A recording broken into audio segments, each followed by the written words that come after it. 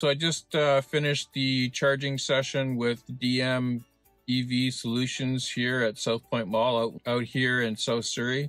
They I had scheduled them to come out, so at 12:30 they showed up sharply at 12:30 and uh, we got into the whole thing. So they made sure that uh, my car was at a appropriate state of charge.